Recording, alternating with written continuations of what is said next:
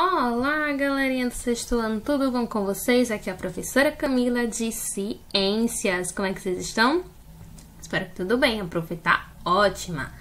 Então, nós estamos no nosso módulo 3, entramos no nosso módulo 3 e nós iremos estudar sobre Terra, planeta Água. Isso mesmo, sobre a Terra, planeta Água, como vocês já devem ter ouvido falar, né? Que também é chamado de planeta azul. Nosso planeta Terra, planeta Água. Então vamos lá? Então pegue o módulo de vocês, o módulo 3, na página 210, que nós vamos estar começando essa parte do desse capítulo, que é o capítulo 5, que nós vamos falar sobre o planeta Terra, água, ok? Então vamos lá a água e os ambientes da Terra.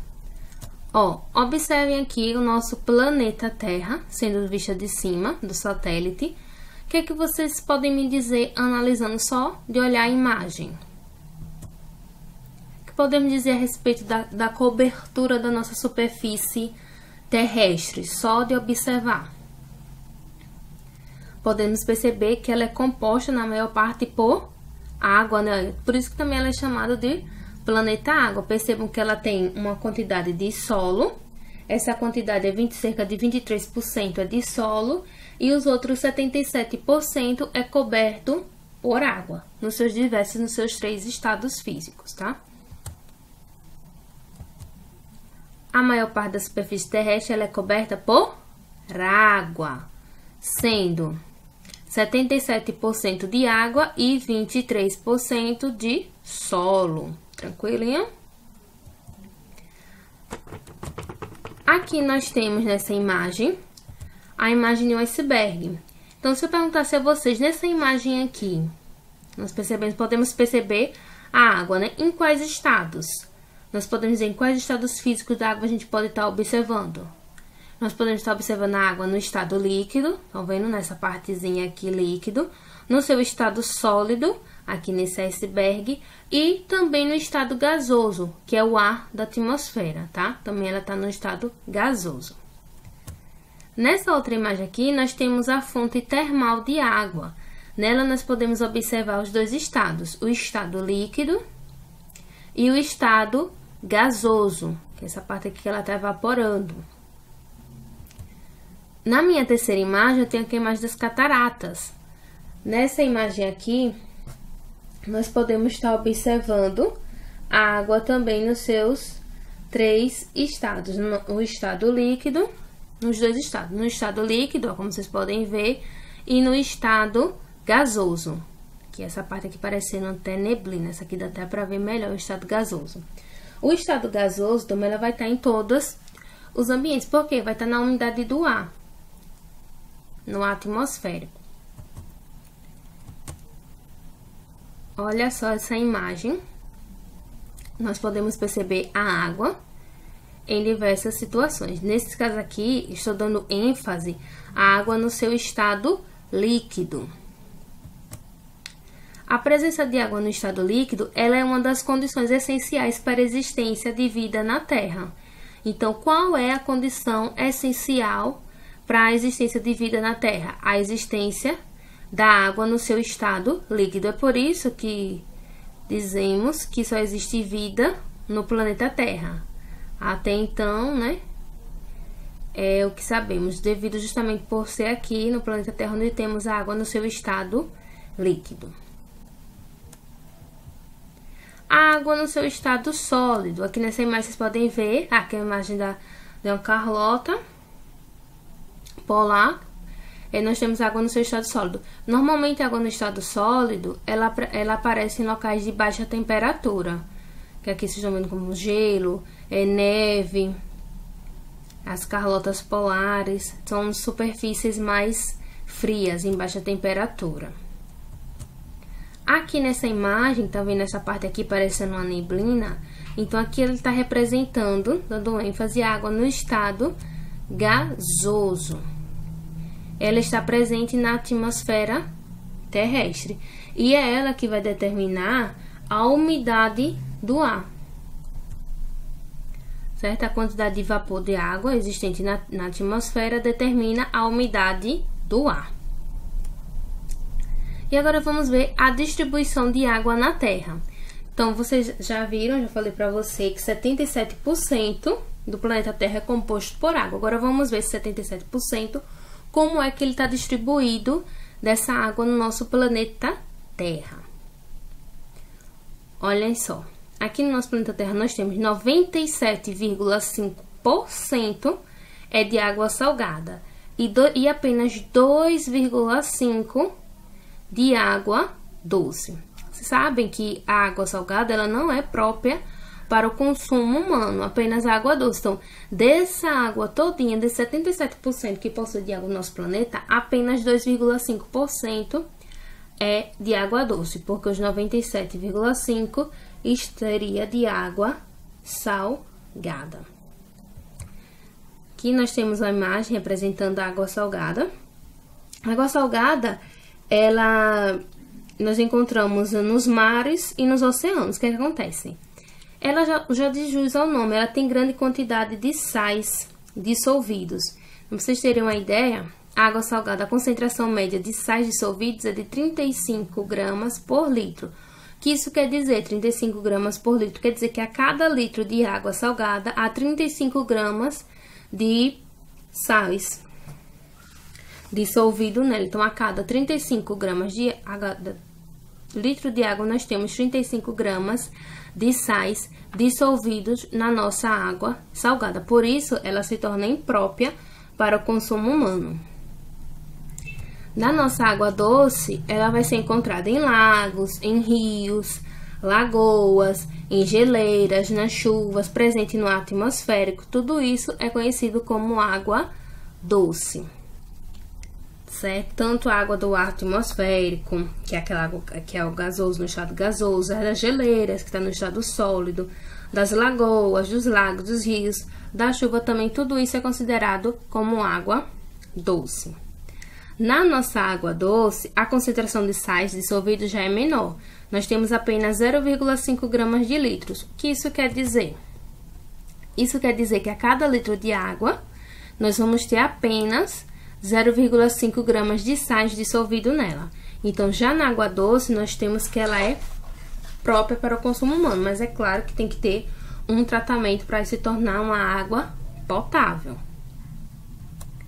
Aí eu mostrei para vocês, falei para vocês que nós temos apenas 2,5% de água doce, que é a água que seria própria para o consumo humano, que nós poderíamos consumir desde que ela esteja seja potável. Só que o que acontece? Desses 2,5% de água doce, nós vamos ter a seguinte distribuição.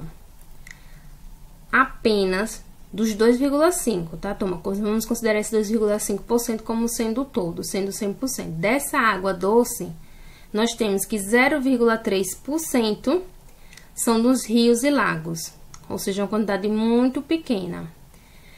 29,9% é água subterrânea. 68,9% vai estar nas calotas polares e nas geleiras. O que isso quer dizer? Que tanto a água que está nas calotas polares e geleiras, quanto a água que está na subterrânea, ela fica indisponível para o consumo humano, tá? Porque ela vai estar no subsolo, em geleiras, é, vai estar congelada. Então, não fica possível, porque ela fica indisponível, embora ela seja água doce, que seria água que seria possível da gente consumir, só que pela localidade dela, ela fica indisponível para o nosso consumo. Então, nós temos apenas esse 0,3% que é onde está nos rios e lagos. 0,9 vai estar em outros tipos de reservatório. Então, vocês podem ver que a distribuição da água doce no nosso planeta, né, é, para o nosso consumo fica muito pouco. Então, por isso que se faz necessário a gente estar tá sempre cuidando dos nossos ambientes, preservando a natureza, preservando esse bem tão precioso para a nossa existência. Além desses fatores, de nós termos apenas uma pequena quantidade de água disponível, de água doce disponível, outros fatores também ajudam é, na redução dessa água, que é o que? Poluição dos recursos hídricos, o desperdício da água, é, a poluição no meio ambiente, que acaba poluindo os rios, como a gente já viu nas aulas anteriores, né? Poluição do solo, que acaba poluindo o rio, e tudo isso vai fazendo com que ocorra uma escassez. Então, valorizem a água que nós temos, que nossos familiares utilizam diariamente, evitando o quê? Evitando desperdício e a poluição dos rios e dos lagos. Então, por exemplo, quando vocês forem tomar banho, não se esqueçam de desligar a torneira, né? Na hora de se ensaboar, na hora de escovar os dentes, também é importante estar tá desligando a torneira. E tudo isso para poder estar tá ajudando nesse recurso que é tão precioso para nossa existência e que é em pequena quantidade, levando em consideração a quantidade de água que temos no nosso planeta. Então é necessário, se faz necessário que se haja sim uma preservação desse recurso. E aí nós temos as adaptações dos seres vivos à escassez de água. O que, é que acontece? Tem, por exemplo, aqui nós temos um cacto. Vocês sabem que um cacto eles são é, umas plantas que consomem pouca água. Vocês sabem, ah, é onde normalmente nós temos onde? Em lugares secos. Como no sertão a gente encontra, tem um grande encontro desse tipo de vegetação, que é esse cacto. O que é que acontece? É, eles, os cactos, eles são exemplos de plantas que armazenam água. Então, os meus cactozinhos, eles vão armazenar água nos caules deles. Que acontece? Os caules deles, dessas plantas, atuam tanto como órgãos fotossintetizantes, produzindo os nutrientes de que a planta necessita, quanto como órgãos armazenadores de água. Então, nos seus caules, eles vão estar armazenando a água, já que eles vivem, normalmente eles são encontrados em locais secos. Por isso que quando nós temos aqueles cactuzinhos, que agora tá na moda, né? A gente tá comprando os cactuzinhos para ter em casa, é, não se recomenda estar tá colocando tanta água, porque ela já é uma planta de ambiente seco. Então, é recomendado colocar água uma vez na semana, porque ela já é desse tipo de planta, ela reservar, ela armazenar a água nos seus caules. E agora nós vamos ver a composição da água. A água nós vimos no nosso módulo anterior, vocês já viram que ela é uma substância o quê? Composta. Composta por o quê? Pelos dois átomos de hidrogênio e por um átomo de oxigênio. Então, nós sabemos que a molécula da água ela é composta por dois átomos de hidrogênio e um átomo de oxigênio, conhecida também como H2O. O que aconteceu nessa composição da água? Que ela existe no nosso dia a dia, né? Ao longo da história, vários cientistas eles estudaram sobre esse componente no nosso ambiente. Então, existe um filósofo grego, Empédocles, que, por exemplo, ele afirmou que tudo que existe lugar no espaço é composto de quatro elementos principais. Ele falou que seria a água, o fogo e o ar e as suas combinações. Tivemos também um físico inglês, Henry, que ele percebeu que durante uma reação química entre o gás oxigênio e o gás hidrogênio ocorria a produção de umidade. Só que foi com, de acordo com repetir vários experimentos feitos pelo francês Lavoisier, ele relacionou a presença da umidade da água a sua formação. Ou seja, foi Lavoisier que ele percebeu o seguinte, que a água era formada por oxigênio e hidrogênio. Então, quem foi que percebeu que a água era formada por oxigênio e hidrogênio? O químico francês Lavoisier. Só que ele não sabia a proporção, a quantidade, ou seja, o que seria essa proporção? A quantidade de hidrogênio em relação a, ao oxigênio. Ele não sabia quanto tinha de cada um. Lavoisier. E aí foi o cientista Joseph que ele descobriu o seguinte, ele descobriu que a molécula da água ela é composta por dois átomos de hidrogênio e um átomo de oxigênio, que seria o que nós chamamos de H2O. Então, nós temos essa formação, essa representação, devido por conta do cientista Joseph, que ele descobriu que a água era composta por dois átomos de hidrogênio e um átomo de oxigênio. Tranquilo? E Lavoisier foi o químico francês, né? que ele descobriu que a água era composta por oxigênio e hidrogênio, porém ele não sabia a quantidade. E aqui eu trago esse GIF para vocês, essa animação, daqui onde temos os nossos oxigênio e nosso hidrogênio, que é a molécula da água.